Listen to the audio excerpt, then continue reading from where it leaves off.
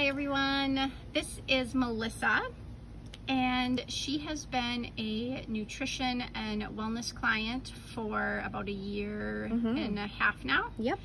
Um, and she's just going to do a little Q&A with you all.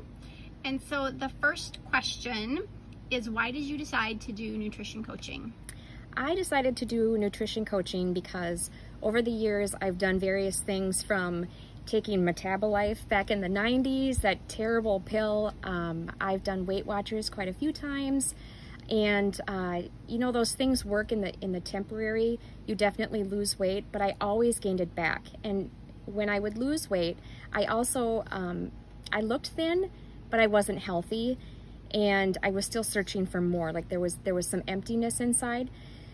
So um, when Lisa approached me and talked to me about nutrition coaching, I thought, well, this really looks different from anything I've done before, and uh, I really need the support. I need the one-on-one. I need to feel like I have a friend next to me doing this with me. And so I decided just to give it a go, and it's just been amazing. It's been incredible, and I've really enjoyed it. Awesome. So question number two, um,